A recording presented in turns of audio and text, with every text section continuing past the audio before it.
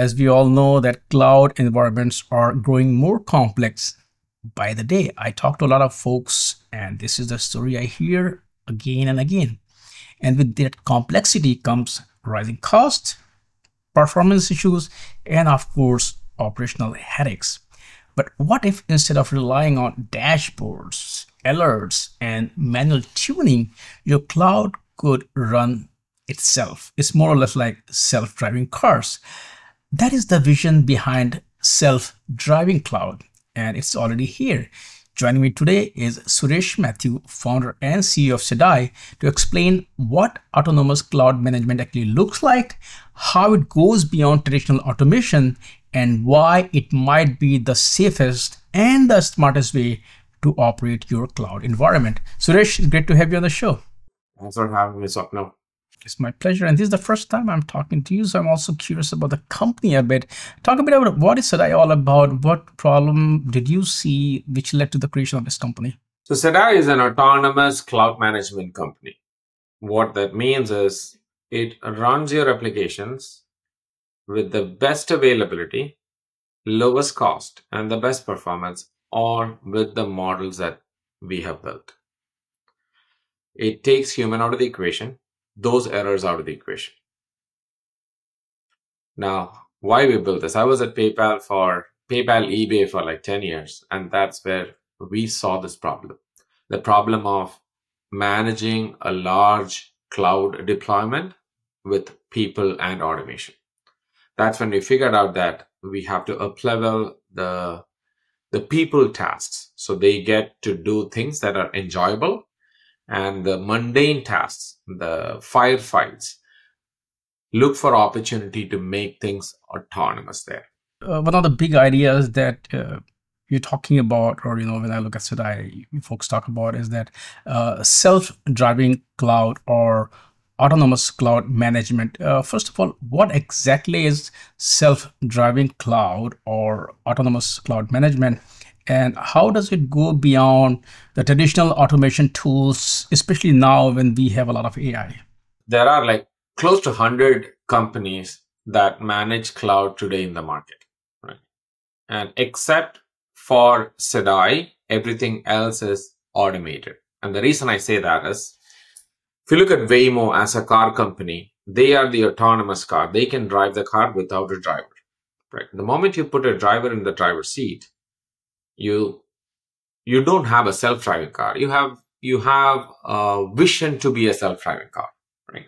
So the moment you take the driver off the driver's seat which means now safety is in your hands if there's an accident that's on you not on the driver because there's no driver right? So that's exactly what sedai does when you change your cloud when you manage your cloud with people clicking buttons or continuously optimizing also the responsibility is on the human taking that decision. So in an autonomous system, it is the machine taking the decision. Whether to optimize, whether to restart, reboot, replace, scale up, scale down, all these operations are decided by the system.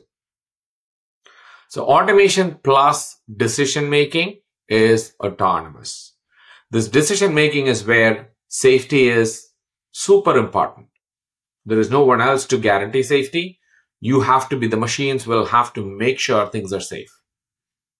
And that's why Sedai as a company has like nine patents, making sure that the changes that we make in production is safe. And we've done hundreds of thousands of operations in cloud for the largest companies in the world without a single incident. Now, let's also talk about two things which folks are getting really, really uh, concerned. One is the cost Second is performance, optimization, better use of resources because if you go into cloud, the, the clock is ticking, the meter is running, it doesn't matter whether you're, you're using a service or not, you will be charged for that. How does this self-driving cloud help in containing these uh, you know challenges that organization businesses face today? Best way to look at that, Swapnil, is look at from the angle of an autonomous system, right? When a machine is driving, it looks at everything and it makes sure that there is no wastage. So it is not really trying to save money. It's really looking at all the parameters and saying, this is what you need to run this application. That's all you need. Now, when you remove wastage as a first class citizen, it becomes a cost saving action. So when it comes to cost, when you have an autonomous system, there is no way that the machine is wasting that money. So that's how Sedai is seen as a cloud cost saving company. Now, why Sedai is seen as a reliability company? Because generally when you drive or when you have a self-driving cloud, you will avoid all the accidents that's possible there, right? If there is a problem, the metrics will tell you that there is going to be a problem. You have seen the traffic. You have seen all the golden signals. Now you can make those changes that will never run into a problem. So that's on the on the availability side. The last performance. Generally, there are four golden signals that Sedai relies on. Latency, errors, resource usage, and traffic. And latency is the one that tells us there is an opportunity for performance improvement. And if there's an opportunity and your, your preference says so, we will make that change.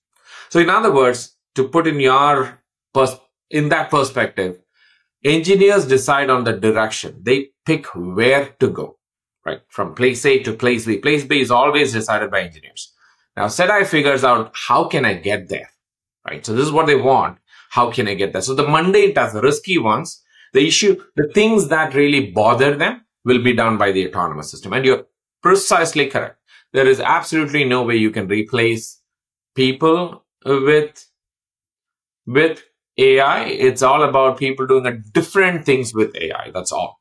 When organizations, when teams move to Sedai, what kind of difference experience they feel compared to the whole we used to talk about single pane of glass dashboards alerts uh, while they shift to this self-driving car towards autonomous execution what is the actual difference in their day-to-day operations so let's talk about a large company where cloud cost is a concern or cloud availability is a concern. Generally, there'll be a team called a FinOps team and there'll be an engineering team.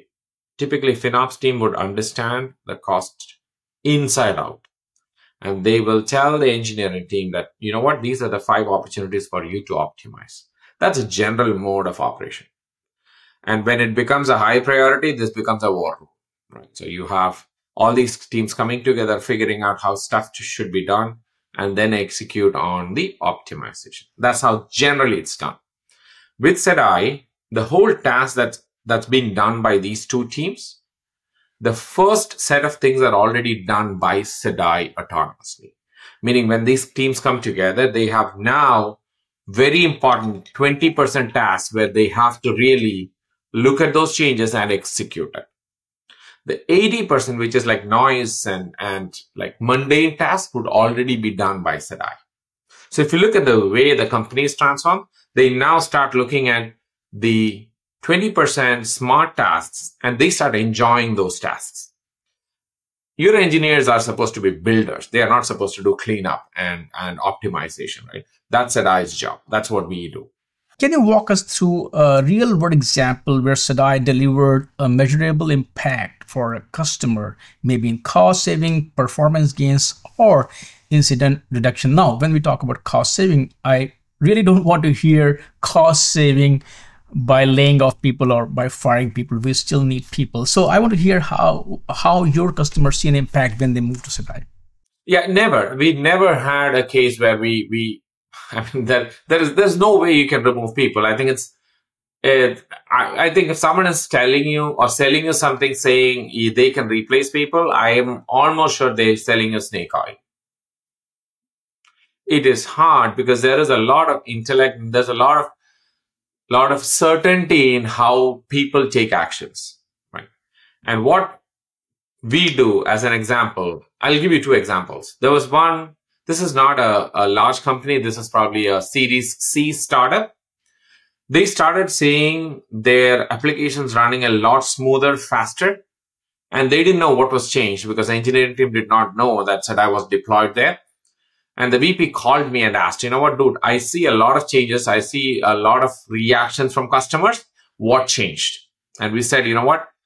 We made a few changes and that is why your applications are running faster, smoother. And that was the first. The second one is probably the largest cybersecurity company in the world. right? So they deployed Sedai and we have done more than 100,000 operations in production for them with zero incidents. And that saved them in the first six months, $3.5 million. And this is all done without people. Again, these are not the operations that people would be otherwise running into doing. So it's not replacing people. It's like making sure that they can work peacefully and they, they work peacefully on the things that they should be focusing on.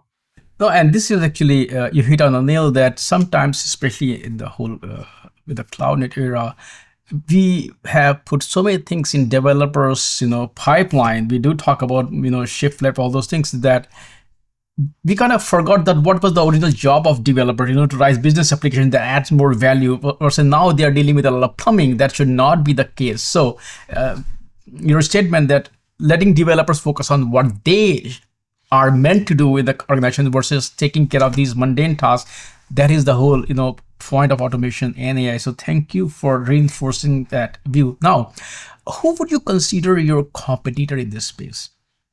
And and before you name them you can or cannot name them what edge really you have over them realistically technologically? Yeah this is probably the most the, the favorite topic for me, right? So there are like 100 companies. This is a very, this is a super crowded market. Right? And there are companies calling autonomy or themselves autonomous too. So that's the only difference between us and competitors. They call themselves autonomous. We are autonomous. And I'll tell you the difference, right? Let's take an example of, again, the Uber Lyft versus Waymo. Right?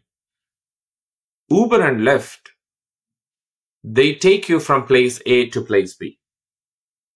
And if you look at the number of accidents in that process would be a lot more, 88% more than Waymo. They don't have a driver in the car. The good thing is they are limited. They can only do a few things or uh, a few cities but that limited action would be done safely. So that's the difference between us and competition. We are autonomous, meaning we take responsibility for the actions. There has been zero incident so far ever with Sedai. And that is the guarantee that we provide that the rest of the competitions does not have. That's the only difference. Can you talk about are, when we look at Sedai, are we looking at software? Are we looking at SaaS? What and also what kind of clouds do you support? We support all three clouds. In fact, now all four. We support technologies, not just Kubernetes or not just serverless, Kubernetes, general containers, serverless, VMs, and storage.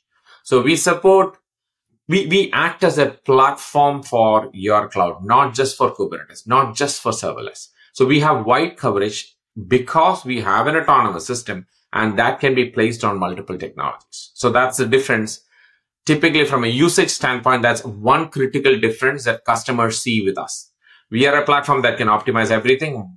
In most cases, others are a platform that, op- op- that can optimize one or the other basically it's a SaaS system, but we also let companies deploy as on-prem too, because there are security concerns, especially for machine learned systems. So we support on-prem as well, but we generally prefer SaaS. And the, the second aspect, how exactly are we considering or, or managing the PII aspect? So we don't read your logs. We don't read any PII. It's all based on metrics. So it's safe to have this machine learned system because it does not have access.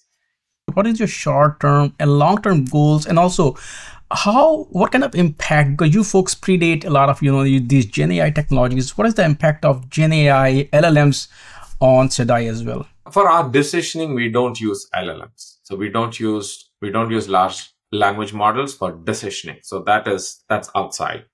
But llm is heavily used by Sedai one for our own development. So that's definitely absolutely used.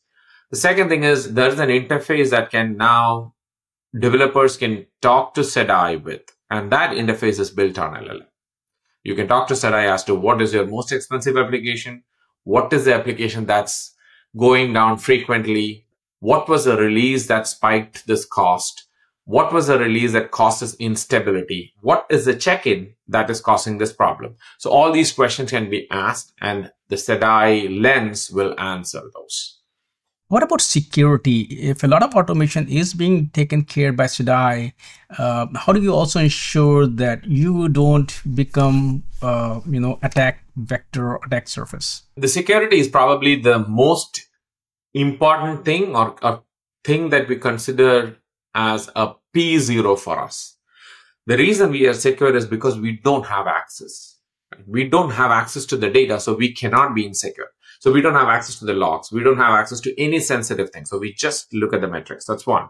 Number two, you have controls on every autonomous, autonomous engine part where you want to turn knobs on or off. And when you see this, you can turn off and your security team has control on that. So we make sure that it is secure from a data perspective. And if it's on-prem, there is absolutely no attack.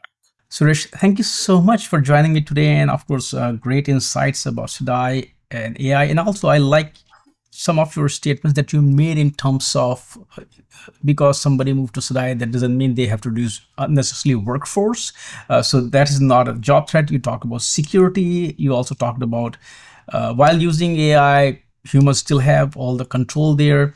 So your view is very much pragmatic, not a lot of, you know, fluff that we hear when people talk about AI, Gen AI. Also, you mentioned, you know, that you folks are not using LLM in that space as well, which is also great. So thank you so much for great insight. But I see a lot of work that you folks are doing is uh, very, very relevant. So I look forward to chatting with you again as you folks roll out new services, new features. So I, I'm looking forward to a long collaboration, but I really appreciate your time. Thank you.